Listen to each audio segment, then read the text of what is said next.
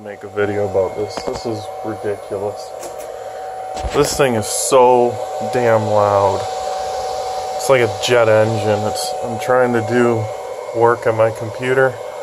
I it works. It's fine. It's running, and yeah, I get it. It's a it's a big power supply. It's it's mimicking a thousand watts uh, of solar panels, like 24 volts, thousand watts solar panel. That's what this box is mimicking. This was 150, 160 bucks versus like over a thousand dollars of monocrystal, I think.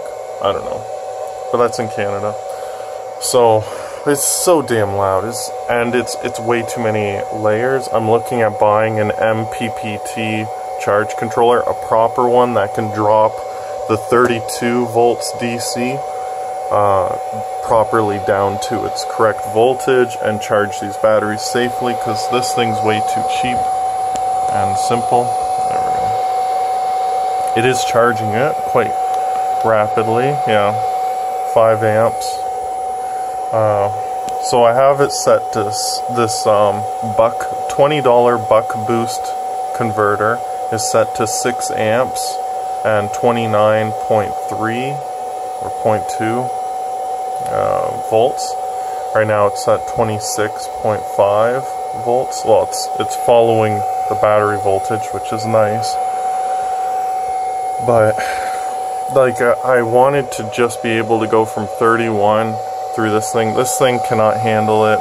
I don't know why exactly it can't handle it, but it was only 20 bucks. So right now I'm sitting at uh, this thing's a waste of money, garbage, but it's it was good for quick testing, right? 20 bucks, 20 bucks, 160, I think.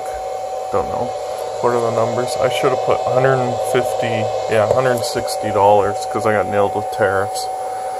Uh, there's a little hookup for a fan here. This thing is is going to be used for something else, but yeah, I just wanted to make a video. It's, it's so loud. Um, I'm gonna I have to do a lot of video editing to post. I did, um, these are the results. Over 38. No, that's wrong. That's gotta be wrong. Okay.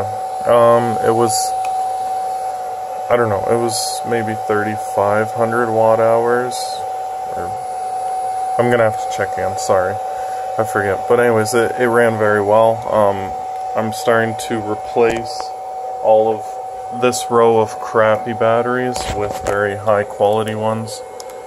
Jeez. So all of all of these new ones that I bought, they're all the lowest one is this one at 4457 milliamp hours.